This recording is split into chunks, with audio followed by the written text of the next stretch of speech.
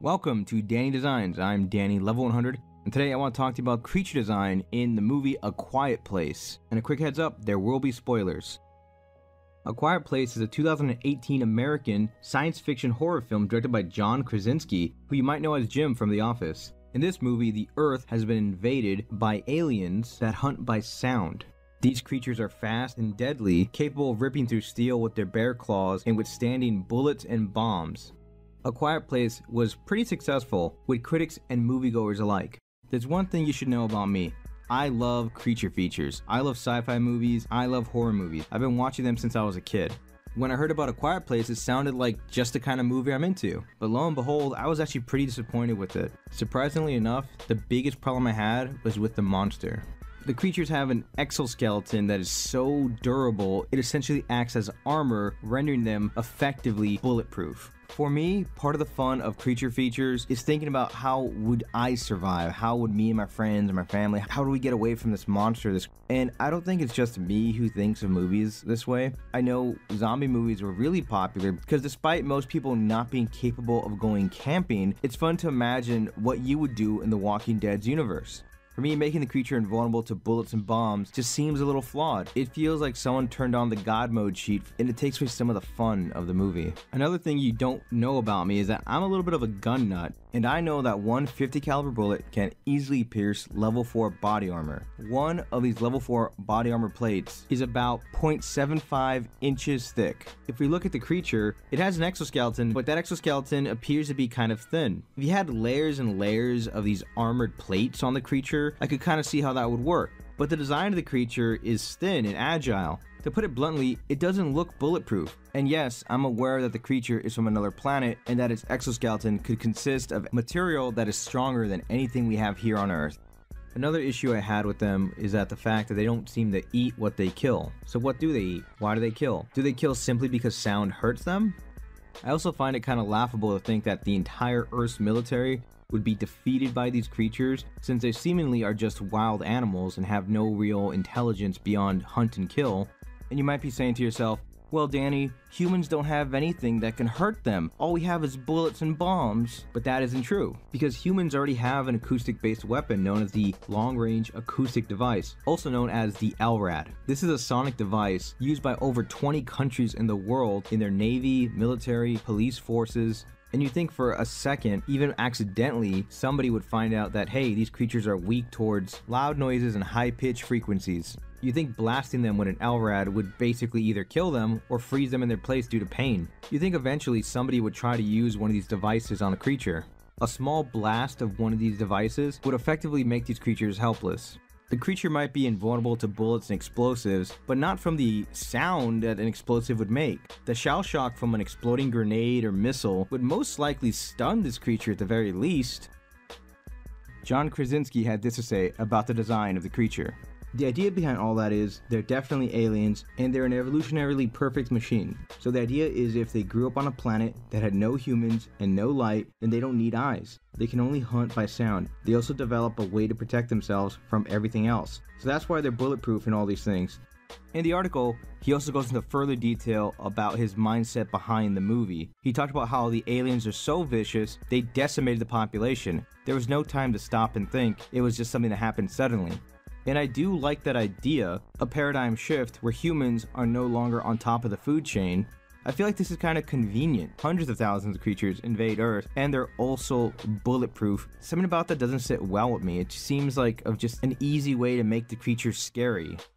One of the biggest issues I have though is that I just simply don't like the creature's design. I feel like it's way too modern. It feels like the rake or something for the Slenderman generation, but it really lacks some punch. Like if you just showed me that creature, I would never have guessed, oh, that's from a quiet place. Only time will tell if it will be as iconic as Predator or the Xenomorph, or even the monsters from Attack the Block. It's certainly lacking something, and I kind of want to redesign this creature a little bit. But before we can do that, let's take a look at a couple other monsters that may have inspired the design of the A Quiet Place monster.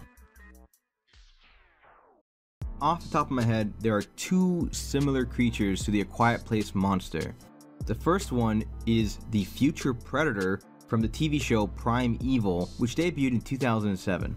The future predator, much like the Quiet Place monster, hunts with echolocation, is gray, lanky, agile, and very deadly. However, the future predator isn't bulletproof. It is very durable and can shrug off most bullets to the torso. It can still be killed by being smashed or shot, and just like any other creature on Earth, if you shoot it in the head, it will die. One of the main differences here is that the future predator demonstrates human intelligence and is more than capable of outsmarting and outmaneuvering its prey, making it quite a formidable opponent. The second creature I can think of would be the Night Stalker. Behold, the glory that is the Night Stalker. A large, ferocious, pack-hunting, flightless, leaf-nosed bat that has evolved thousands of years after the extinction of mankind. It runs on its hands, its legs, or its arms. It has these giant ears and nose that it uses to find prey. It's blind but uses echolocation. It has menacing fangs and claws that it uses to attack and kill its prey. It's basically like a giant land piranha. What I like about the Night Stalker's design is it takes a creature we're familiar with, a bat, and turns it into this absolutely frightening nightmare creature. For me personally, I would love to see something like this instead of the creature we have in A Quiet Place because this feels believable and we know since it's not going to be bulletproof, there'll still be a chance for humanity to fight back against these creatures. If I were to create a creature for a quiet place, I'm going to base it heavily off the Night Stalker. I want it to be a large, bat-like creature with powerful legs, something that you know can run fast, but if it gets up close, it can tear you to shreds with its big, powerful claws and sharp fangs. Over most terrain, these creatures would be very fast, exceeding speeds of over 40 to 50 miles an hour. It would also be an adept climber, easily scaling buildings or trees my creature would demonstrate a high level of intelligence and adaptability, capable of using its large sensitive ears to hone in on prey and stalk them before pouncing on their prey and using their strong back legs, they would begin to tear into the flesh of their victim while holding onto them with their forward legs and jaws. On a completely physiological level, they can adapt to most climates by either shedding their fur for warmer climates or growing more fur for colder climates, making them a highly adaptable predator. However, their ears are very sensitive and extremely loud noises can cause them pain. And depending on how loud that noise is, they might lash out at the source or flee. And I know you might be saying, well, Danny, how do these creatures destroy the human population? I imagine that these creatures somehow got to Earth. Maybe there was a crashing UFO that had tons of these creatures aboard. They were scattered across the globe. They began looking for food, finding easy targets in livestock. With livestock being decimated, food prices go way up, there's chaos and panic in the cities, and as the people are rioting, the creatures swoop in and it's a bloodbath all over the world. Very similar things are happening to major cities. However, as time went on, the large packs became a lot smaller, typically down to 1 to 3 creatures per pack. After that, things kind of quiet down a little bit, and that's where the movie would take place. In the 1987 film Predator, Arnold Schwarzenegger says this If it bleeds, we can kill it.